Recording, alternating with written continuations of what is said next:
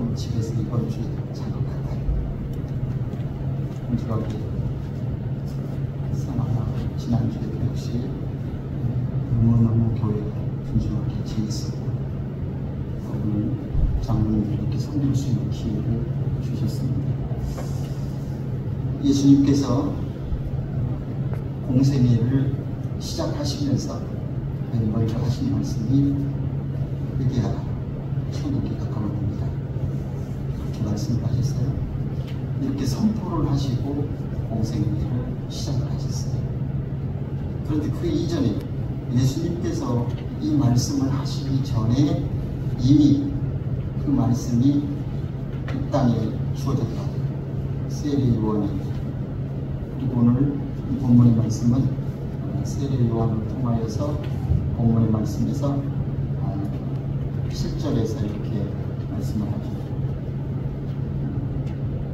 7절만 보면 우리가 이해가 잘 안 되죠. 세례를 받으러 나오는 우리에게 이르되 독사의 자식들아 누가 너희에게 일러 장차 올 진노를 피하라 하더냐? 아, 그런데 이 말씀 앞에 2절 3절에서 이미 이렇게 말씀을 합니다. 3절 보면 요한이 요단강 부근 각처에 와서 큰 어, 죄 사함을 받게 하는 회개의 세례를 전파하니 회개의 세례를 전파했다는 요단강 부근에서 그리고 그 지역을 다니면서 회개의 세례를 전파합니다. 어, 그러면서 이 말씀이 있고 나서 엄청난 반향을 일으키는 일들이 벌어지게 되죠.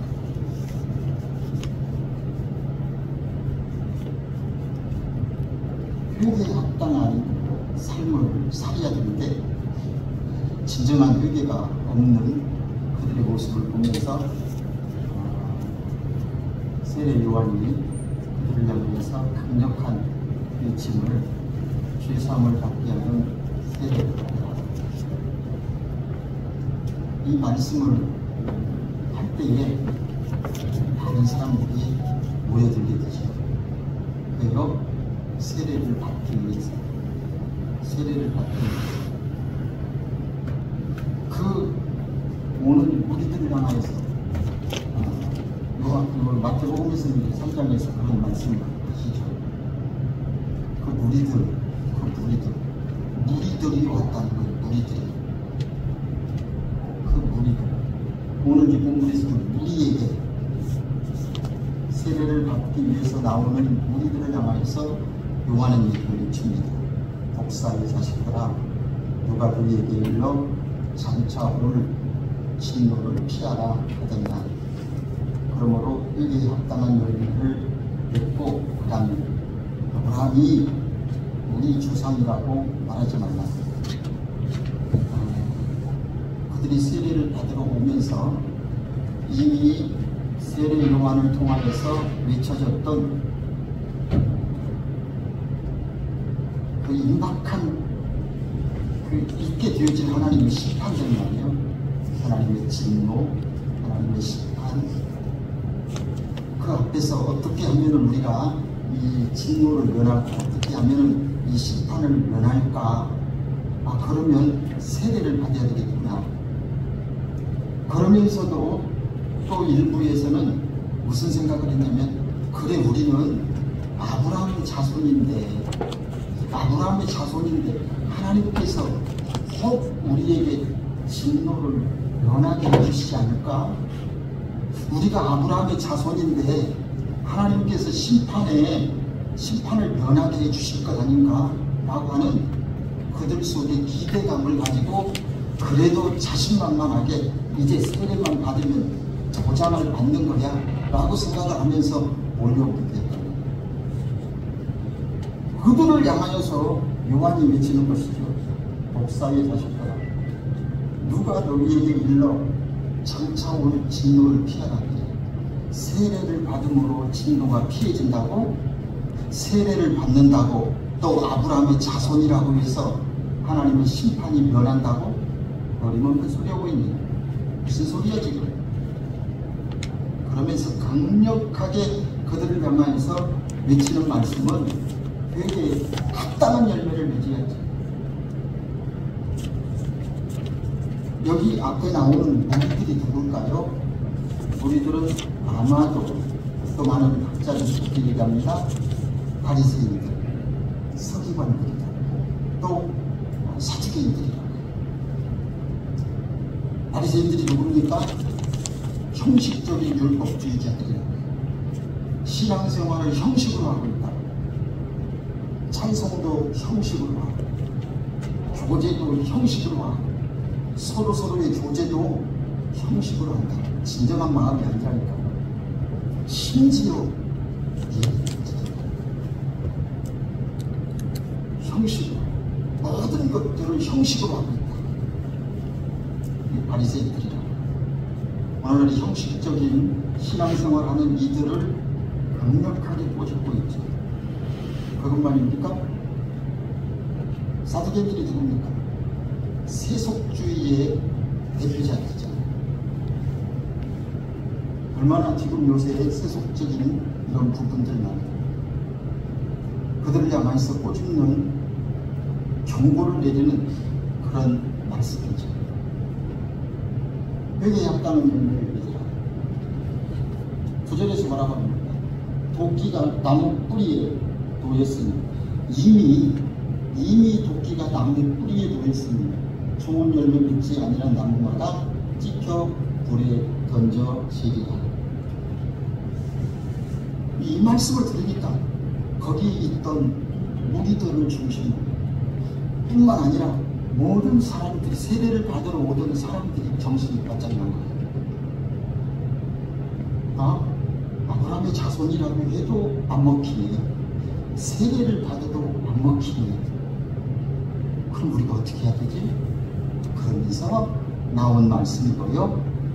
그럼 우리가 물어 이르되 그러면 우리가 무엇을? 어떻게 해야 이 진노를 면할 수 있습니까? 어떻게 해야만 이 심판을 면할 수 있습니까? 라고 하는 질문을 하게 되죠. 그 시대에 그 시대에 이스라엘의 상황이 어떻습니까? 우리가 잘 아는 대로 로마의 지배를 받고 있다. 얼마나 가난합니까? 너무 힘든 생활을 하고 있어요. 아니 한벌 옷밖에 없는 거예요. 한벌 옷도 제대로 없다고. 먹을 것이 어디 있어요? 그럼에도 불구하고 지금 여기 질문하고 있는 대부분의 사람들은 옷한 벌만 있습니까? 넉넉한 옷을 가지고 있다. 먹을 것이 없습니까?